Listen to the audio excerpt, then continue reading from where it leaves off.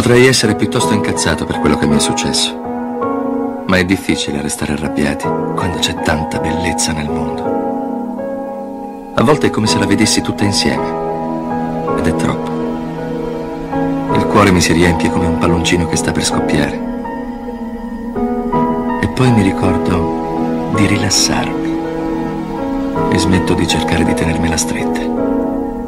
E dopo scorre attraverso me come pioggia posso provare altro che gratitudine per ogni singolo momento della mia stupida piccola vita.